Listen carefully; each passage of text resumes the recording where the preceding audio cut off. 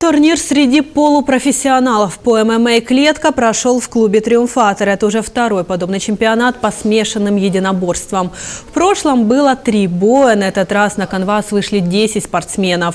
Приехали представители клубов из Киева и Николаева.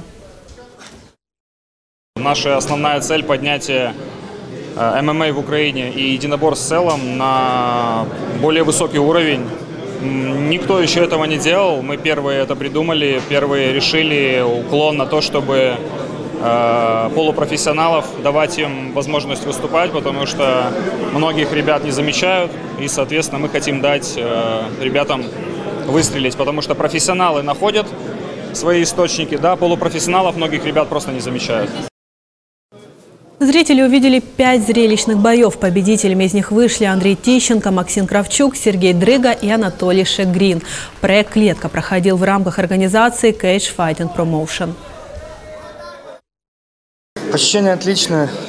Соперник достаточно, достаточно крепкий парень. Отлично себя чувствую, травм вроде никаких.